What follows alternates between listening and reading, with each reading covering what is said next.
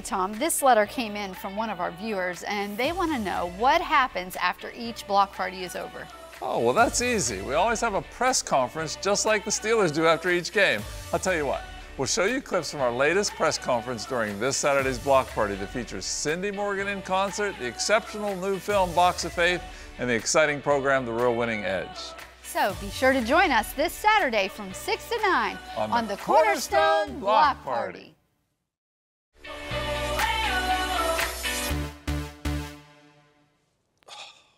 Well, first of all, I'd like to congratulate the team on a successful block party last week. It was a good collective team effort by everyone involved. It wasn't perfect by any means, but we'll continue to work on areas we need to improve on and we'll continue to get better. I'll now open the floor for any questions. How do you feel about your individual hosting performance last week?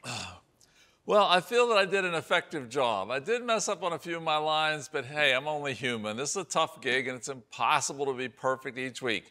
Having said that, I will continue to work on my technique and strive to make myself better each and every week. What are some areas that you feel you need to improve on?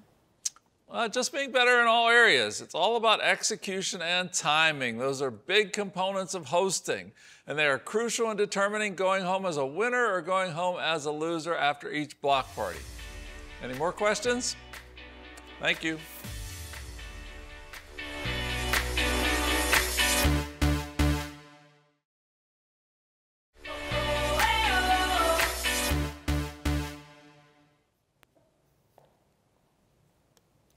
Any questions? How do you feel tonight's block party is going so far? Perfectly.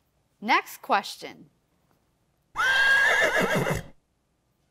Yes, you can have my autograph for only $50. Anyone else? Thank you.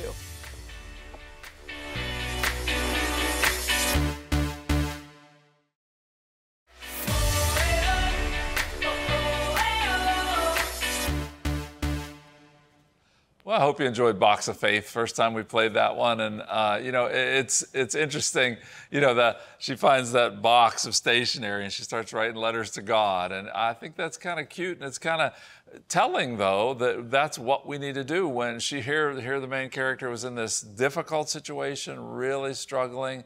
Dad falsely accused. Here she is trying to make it on her own, a senior in high school, just living in this uh, storage facility but trusting that God was going to answer prayers, and it gave her a way by writing those cards, gave her a way to communicate with God, uh, at least a focal point. It's so important. You know, we all walk through seasons in life, and there's highs and lows. And it's so important that we don't ever allow God to become our enemy. He's not the one against us. There, we live in a fallen world. So if it's you that's walking through that hard season today, I encourage you to run to your Heavenly Father. Know that you could open His heart. You know, there was an exercise that God had led me to do after walking through a very difficult season, and invite, it, was an invitation from God for me to write down letters to people. And that was a release. God used that to bring healing even to my heart and to others. I just thank God for that. So I see that in this story. Well, and you know, obviously we can pray to God at any time. There's something about writing, though. There's something about putting things down on paper that really focuses our attention. And sometimes we don't know how to ask, and when we write it out, it becomes clear to us. Well, I, again, I hope you enjoyed the movie. Again, we'll be showing that again in the future, but uh, we, we liked it. Well, up next is a program we liked as well called The Real Winning Edge. You're going to hear some great stories of faith.